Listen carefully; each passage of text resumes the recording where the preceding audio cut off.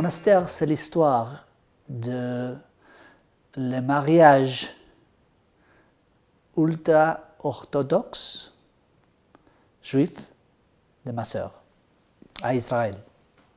Le livre commence euh, quand toute ma famille arrive à Israël pour le mariage de, ma petite sœur.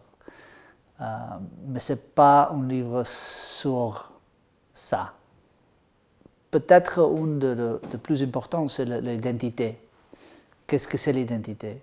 Et spécifiquement mon identité. Les différents aspects de mon identité. Non? Je suis juif, je suis arabe aussi, je suis latino-américaine, je suis américaine aussi. Mes origines, c'est un petit peu ce mélange de, choses. Euh, mon grand-père, le père de ma mère, est, polonaise. Il a survécu le, le Auschwitz monastère, c'est aussi un petit peu sur ça, sur l'histoire de mon grand-père. Le sens de l'humour, euh, c'est important dans le livre. Oui, c'est pas, pas. Je crois que pour faire des choses très sérieuses, il faut euh, faire des choses aussi avec sens de l'humour. Mais c'est important pour le juif aussi, le sens de l'humour rire de moi-même. Oui, euh, parce que je suis le narrateur de le livre. Le personnage de ce livre s'appelle, le narrateur de, de le livre s'appelle Eduardo Halfon, comme moi. Mais ce n'est pas moi. Il fume beaucoup, je ne fume pas. Il se pareil beaucoup à moi. Non?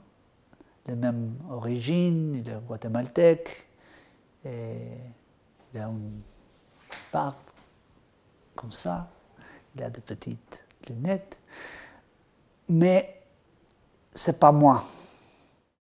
La femme dans le livre, il a deux femmes. Tamara, c'est la, femme principale, l'objet de érotisme dans le livre.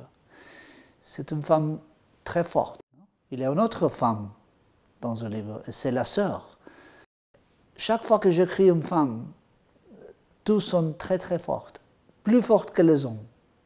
Dans ce livre-là, monastère, Tamara et la sœur fonctionnent comme un contrapeso, comme une balance.